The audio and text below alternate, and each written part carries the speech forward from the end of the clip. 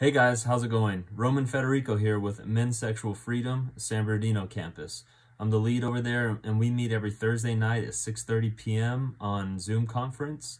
Yeah, so I just wanted to take a second today and, and just tell you about my story um, and then just give you guys some encouragement and some resources.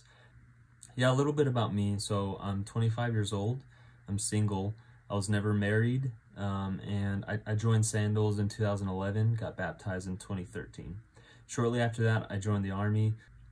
And the Army was, it was a pretty tough time for me. Um, I kind of thought I had a grip on who I was and um, just the type of Christian that I was. And, and, and I kind of had these like boundaries that I didn't think I would cross that I was kind of warned about. And I was like, no, I'm not going to do that. I'm not that kind of guy. Um, sure enough, I find out that even though you don't think you're that kind of guy now, we're all capable of, of just terrible things. We're all capable of, of becoming anybody. So what happened was I had this morality line, right? I say, I'm never going to go over that because that's not the kind of guy I am. I set this, right? I, am not going to cross that line. Um, but what happens is this morality line, it shifts up and down just based off season, based off what I feel like is, is right and what I feel like is wrong. It, like that always changes the one thing that's steady is God's morality line. He, he never changes. Um, he's as steady as a rock, and that's the only thing that we can trust.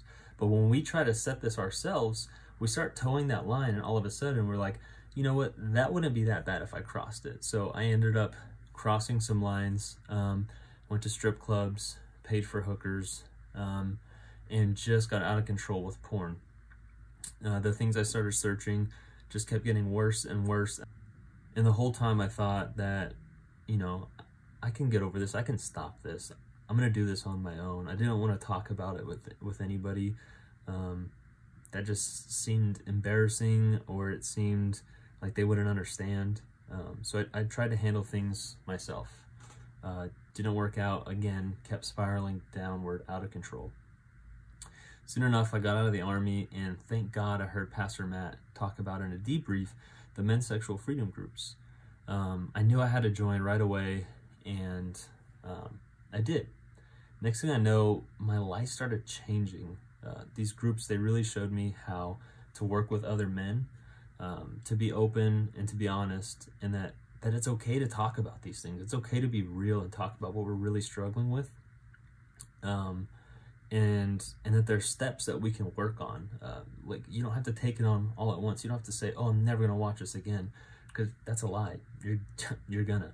Um, but what happened was I got to take it step by step, little by little, and a couple months later, I started noticing, hey, this is kind of easy. It got a little bit easier. Um, so I just wanted to go over with you guys some of those steps that that really really helped me kind of take the next step and for my addiction to become less intense.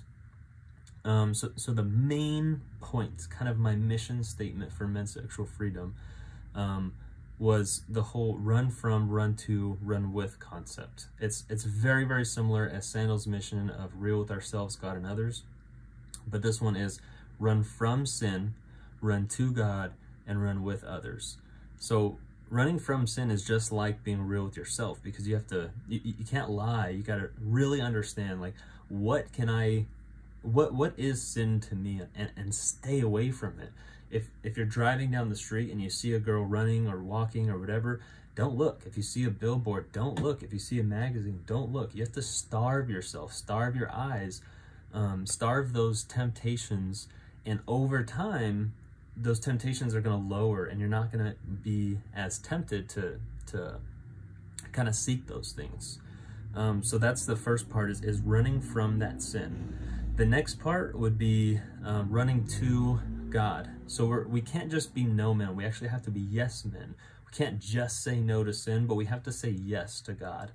Um, what that looks like is i like to tell the story of a boy in a forest running from a wolf so he's running from this wolf. Um, it's big, it's big, it's bad, it's scary, right? Um, but he can't get away. He's running from hiding spot to hiding spot, but the wolf is still there. The wolf is still uh, seeking him intensely, and, and the little boy's scared. The little boy's only hope is to go back home to his father, his, his savior, um, and his, his dad is going to protect him. So obviously the wolf is the sexual sin. Um, the little boy is us, and the father is Jesus Christ. Our only hope is to run to Jesus Christ. Um, we, we can't fight this alone. If we run from hiding spot to hiding spot, we may have escaped sin for, for a moment. That wolf is still waiting for us, and he's waiting for us to come out of hiding, or he's he's waiting for us to like think that we're safe, and eventually he's gonna he's gonna prowl on us. So we can't get comfortable going from hiding spot to hiding spot. We can't run from a wolf into another wolf, um, but we have to run to Jesus. We have to run to God our Savior and ask Him for some help. So you run from sin, you run to God, and lastly, we run with others. Guys, we can't do this alone. And as much as we think we can sometimes, we're, we're dead wrong. We need each other. We need to be confessing to each other. We need to be um, open and honest with each other, saying what we're really struggling with, and and just using each other to kind of get this get through this together. Um, that's the kind of imagery and, and the mission that that really really helped me down the line of just practicing this stuff every single day is really really going to make a difference. So guys, thanks thanks for listening.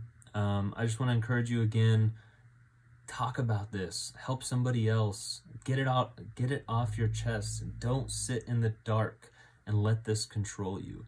I just want to give you one more bit of encouragement. Uh, it's, it's my lifetime verse. It's therefore dear brothers and sisters you have no obligation to do what your sinful nature urges you to do. For if you live by its dictates you will die. But if through the power of the spirit you put to death the deeds of your sinful nature. You will live.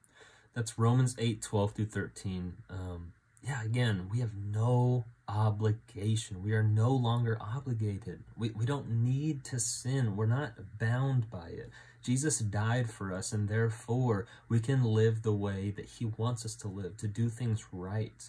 Um, and if you're struggling, you don't know how to do this on your own, that's okay. We're all in the same place.